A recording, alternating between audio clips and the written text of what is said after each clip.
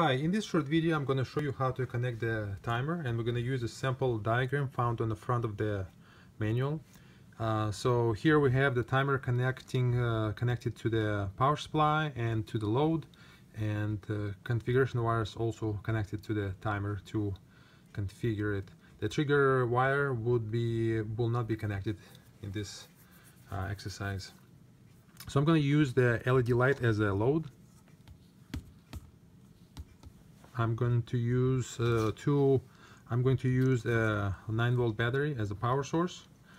Um, and I'm going to use two uh, buttons uh, uh as configuration buttons. So they have the common uh, ground and two outputs. I marked the buttons uh, white and green to make it simpler to connect and identify the buttons. So the first thing I'm going to do I'm going to use the extension cable. And I'm going to connect the ground. So I'm going to use the battery negative connect to the extension cable because I have a lot of grounds to connect. So I'm going to use the ground from the light connected to the ground.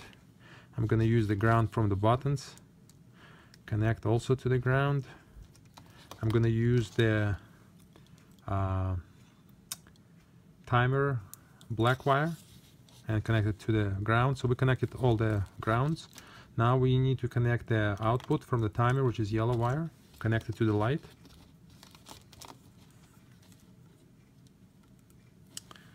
And uh, we're going to connect the configuration wires.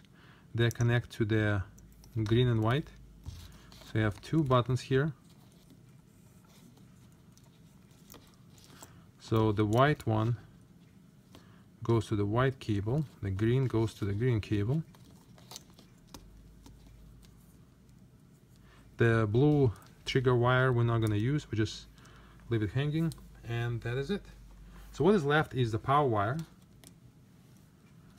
that needs to be connected to the battery.